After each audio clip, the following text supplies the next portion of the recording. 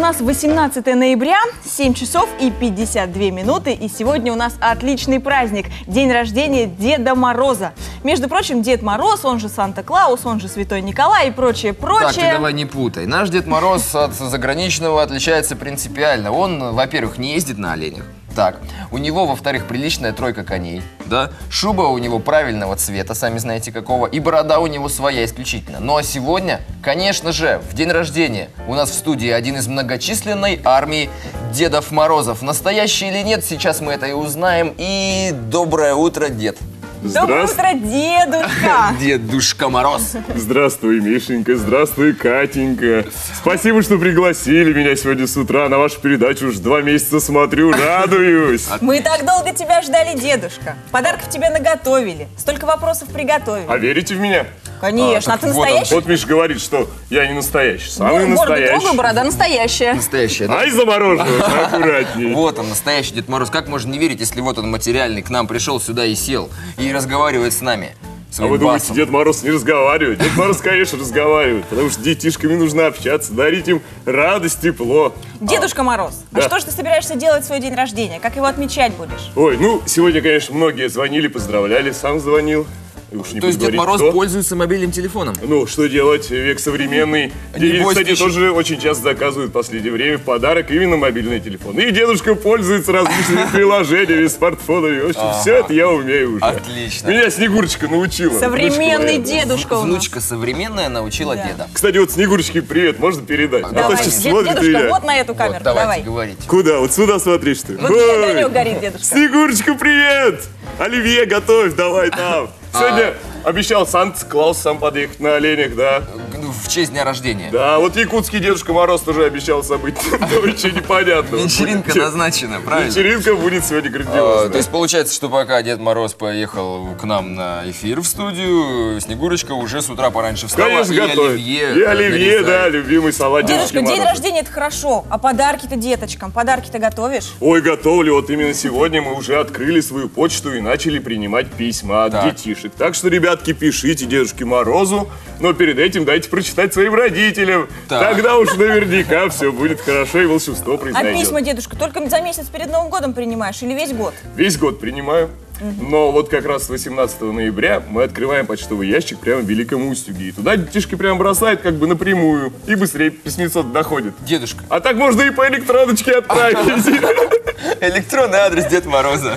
Дедмороз.ру Ищите в интернете где-то. Конечно, ну всем известно. А, дед, душка, Дедушка. скажи, пожалуйста, а, что ты хотел спросить, вот забыл. Как обычный день, может, проходит. Вот видишь? Деда Мороза и сразу все забываешь, кроме Да. подарков, елочки. Елочку-то, дедушка, ты какую любишь? Вот, вот елочку я люблю пушистую. Пушистую. Кстати, ели А тоже лучше елочка или сосна?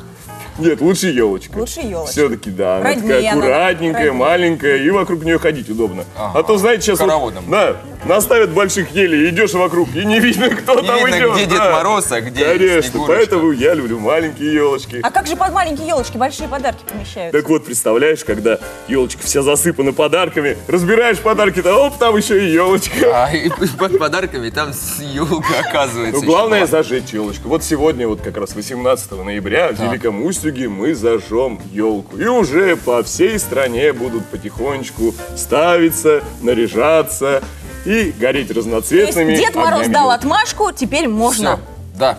А вот вы, ведущие Так. самого доброго утра на Первом Ярославском, Так. как готовитесь к встрече Нового года? Хотела Ну как, спросить. елочку подготовили, как декабрь Очень будет, так активно. поставим у нас. здесь. Написали уже письмецо там Написали отправили? письмецо, ушло по почте России Дед Мороз, извини. я тебе хочу признаться, каждый год я пишу тебе письмо.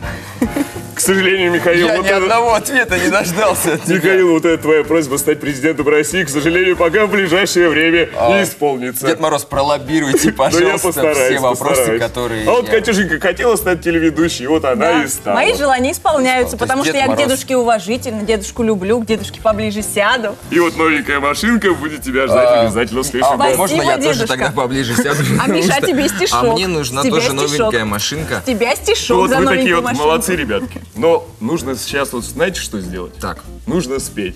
а, да. Петь Хором. самую мою любимую песню. Про Какую? елочку. Про елочку. Ура!